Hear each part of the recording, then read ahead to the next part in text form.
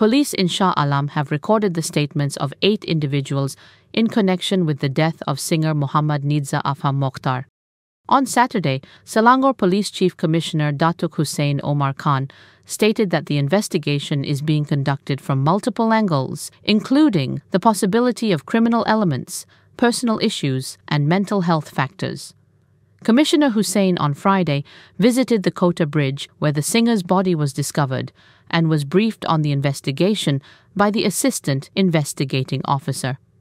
He stated that no reports had been filed regarding any missing items belonging to the singer, and his family had not reported any such losses. The singer's body was found beneath the Kota Bridge on Wednesday evening, and he was last seen leaving a house on Jalan Kerongsang 4 in Bandar Puteri on August 13th. His girlfriend traced his last known location to the bridge, where a family member found his wallet and other belongings. A post mortem examination revealed no physical injuries on his body, and a lab report is pending to determine the exact cause of death. Muhammad Nidza Afham known for his single Ternyata Bukan Aku, gained popularity through his song covers on social media, particularly on his YouTube channel, where his cover of Rindu Setengah Mati has garnered nearly 7 million views.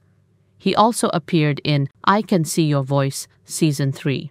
A resident of Shah Alam, he previously studied sports management at UniKL and worked with his older brother while maintaining an active part time presence in the singing industry on social media.